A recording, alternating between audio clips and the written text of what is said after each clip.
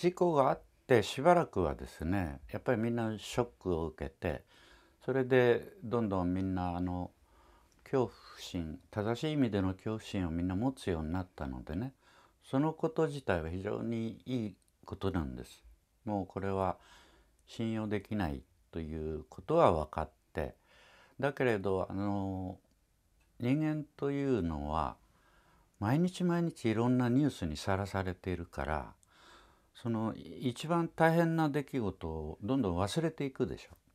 今そういう状態にはあるんですよ。今も原子炉福島の原子炉の下へどんどんどんどん漏れてるわけです。それは地下水に入ってる。それから海に入ってる。それから空にどんどん出てるわけですよ。でそういうことをみんなニュースにならないからみんな忘れていくわけです。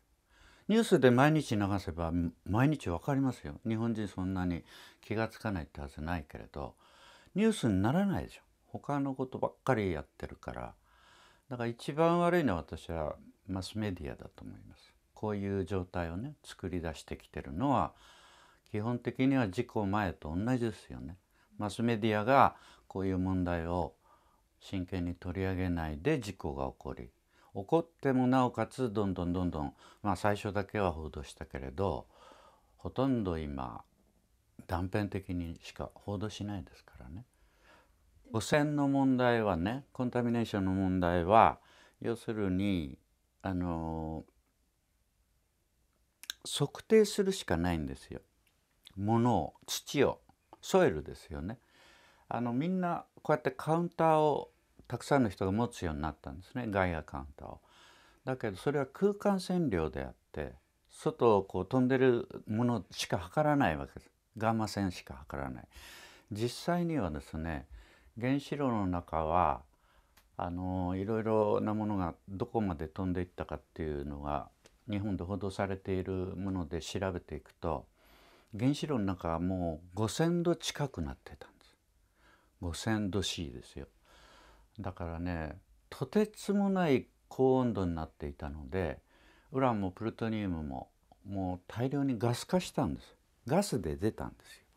でそういうことが私の計算で想像できますのででそういうのは簡単に全部出ないんです。アルファ線とかベータ線とかそういうものは。だからストロンチウム誰も測ってないんです。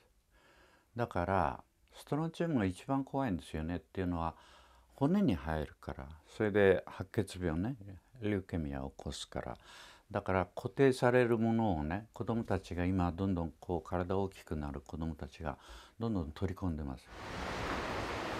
福島のような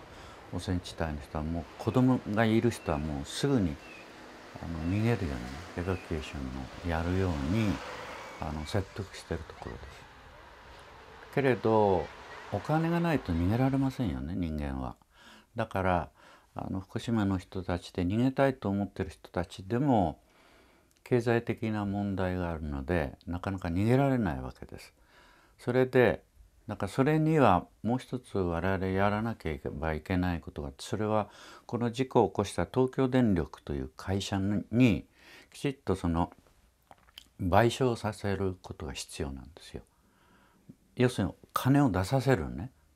もう全て出させてその経済的にその逃げられる人は全部逃がすというねことをやんなきゃいけない。それからまず国はあの子どもたちを福島県内から全部集団でね逃がさなきゃいけないですよ。そんな個人的にそれぞれが逃げるんじゃなくて子どもたちはこう学校で一緒に生活した友達と一緒にいたいわけですからこう集団でね逃げるようなそういうことをやるべきででそういうことはできるんですよ。あの日本が戦争に負ける前も同じようにやったんだ集団疎開といって子どもたちをあの危ないところからねみんな山やなんかに逃がしたりしたんです日本が負ける前ね。でそういうことは今やるべきなんです。それ何もやってないです国はねだから私は人殺し国家って呼んでるんですこの国はね。子供たちに大変なことこのままいくと起こると思います。心配です。